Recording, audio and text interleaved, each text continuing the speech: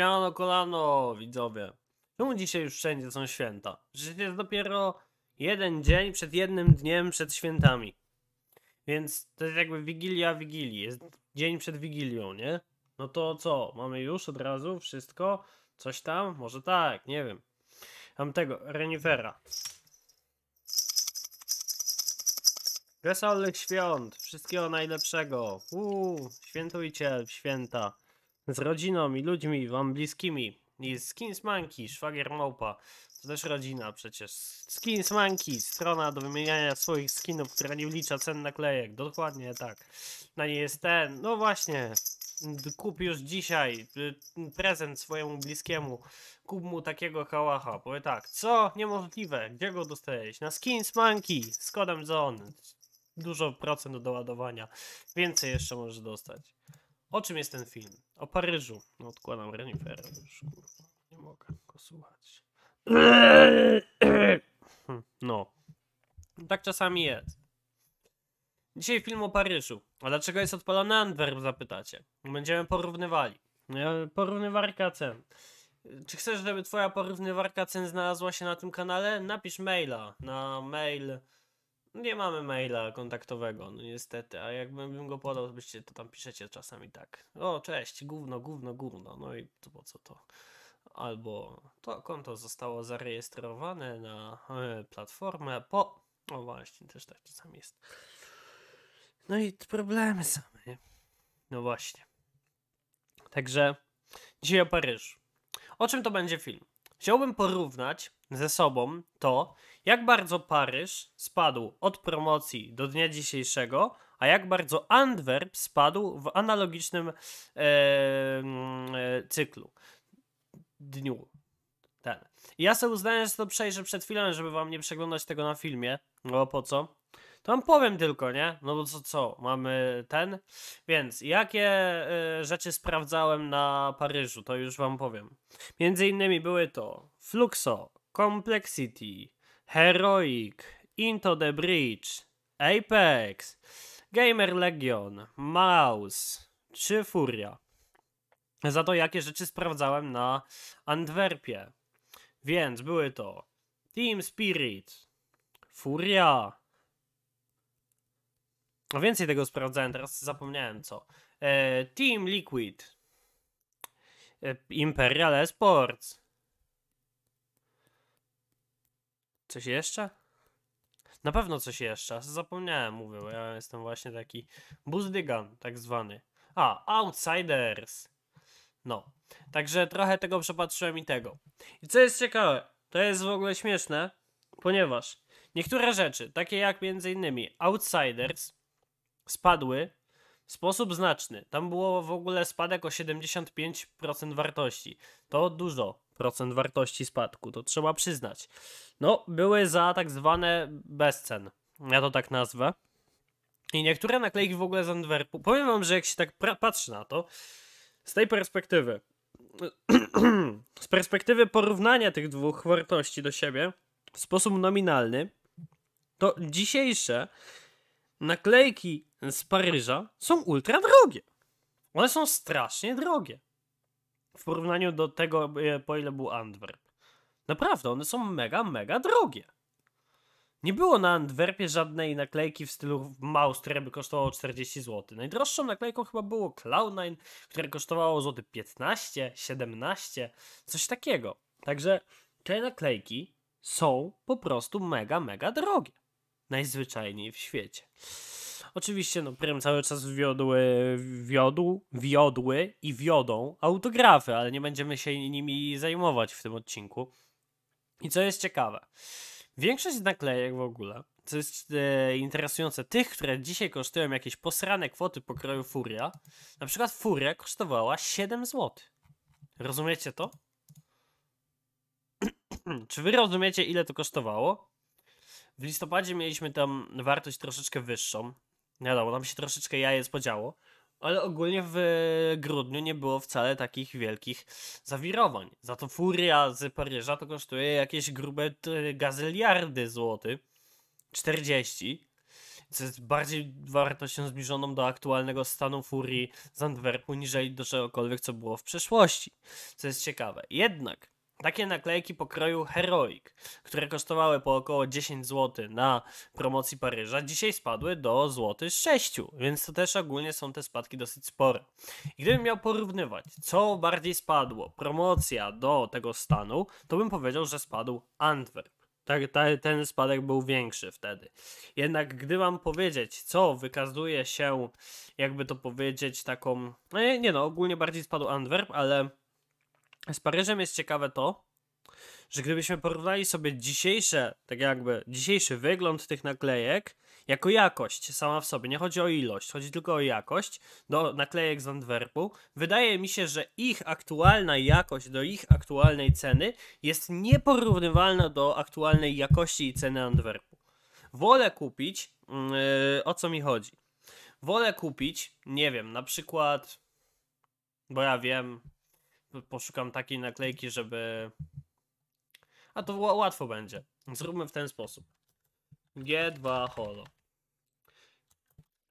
Chyba w tym momencie yy, mógłbym kupić dwa G2 Holo z Paryża yy, w miejsce jednego G2 Holo z Antwerpu. O to chodzi. Gdzie ta jakość nawet. O. No widzicie o co chodzi gdzie jakość tak naprawdę tych naklejek się nie różni od siebie, one są takie same. Tu wyglądają inaczej trochę, wiadomo, na spleszarcie wyglądają dużo inaczej. Ogólnie ta, ta wygląda po prostu jak podświetlona na ten kolor, o i to się w żaden sposób nie różni. Więc pod względem jakościowym, jakbym miał tylko i wyłącznie w ten sposób oceniać, to dzisiaj w ogóle, co jest ciekawe, absurdalnym jest inwestowanie w Antwerp jakbyśmy mieli w ten sposób mówić. Yy, I podobnie jest ze Sztokholmem. Bardzo podobnie. Nawet bym powiedział, że to jest bliźniacza sprawa. I dziwnym by było, gdybyśmy w ten sposób patrząc nie inwestowali w Paryż. A wiem, że tacy, o, takie osoby są. Ja oczywiście nie jestem tego wielkim fanem, bo tutaj dużo innych kwestii ma znaczenie. Oczywiście przecież ostatnio Imperial nawet drożało, które jest przecież naklejką z Antwerpu, nie? To ja nie jestem haterem Antwerpu, jestem raczej zwolennikiem. Ale ogólnie rzecz biorąc, gdybyśmy mieli patrzeć tylko i wyłącznie pod kwestiami e, jakościowymi, no to kurde blade Paryż wygląda jak tykająca bomba wtedy.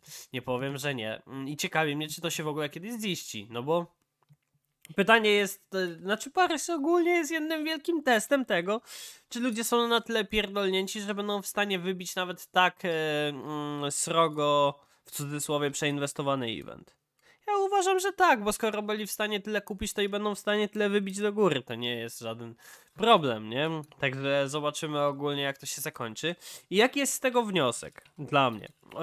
Yy, końcowy wniosek wychodzi z tego taki, że ludzie biorą już poprawkę Antwerpu na Paryż, dlatego te wartości nie szerują aż tak bardzo pod nie. Jak na, na Sztokholmie już nawet nie chcę mówić, bo tam to, to, to były jaja z tymi wartościami. Tam były wartości pokroju 2,80 ale w momencie, kiedy ja dzisiaj widzę naklejki z, z Paryża, które na promocji kosztowały 6, 8, 10 zł, dzisiaj zaczynają kosztować 5, 7, 4, to po prostu zaświeca mi się czerwona lampka, która mi mówi: Hej, widzieliśmy dokładnie takie same naklejki na Antwerpie, które były gówno warte przez bardzo długi okres, a były bardzo ładne.